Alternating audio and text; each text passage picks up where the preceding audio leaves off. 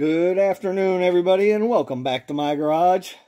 So, I thought I'd make a quick video on fuses, um, because I've every now and then I, I watch videos of new people. Uh, they end up in my feed, and I click on them, and I notice there, some of them out there are making the same mistakes that I made.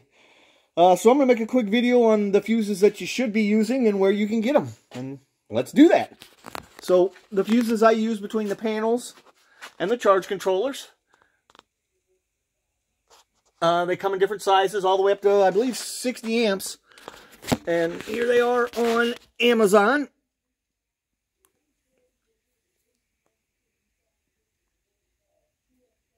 What you got there? That's it.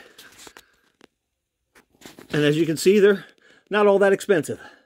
Uh, next would be the fuses that come in between the charge controller and the battery.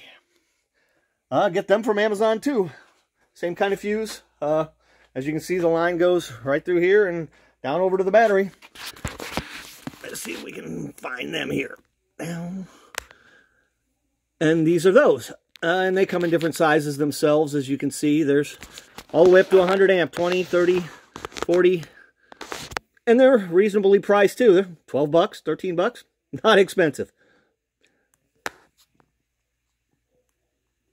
And as you can see, it's a Renogy ANL fuse.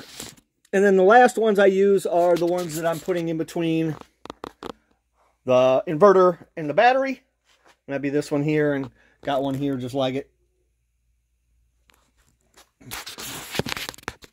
And those fuses are also an ANL fuse. But they're not that expensive either.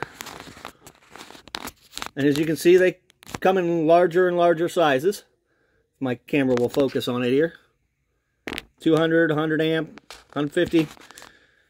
So that's about it. That's a, a quick video. As you see, I started with one of these. Uh, and, and, I see a lot of other people making that same mistake. Uh, I think those are actually audio fuses. I don't know um, for sure. Uh, I definitely feel better about these up here. Uh, they definitely, definitely inspire a little bit more confidence anyway. So that's it. Have a good day, everybody, and a better tomorrow.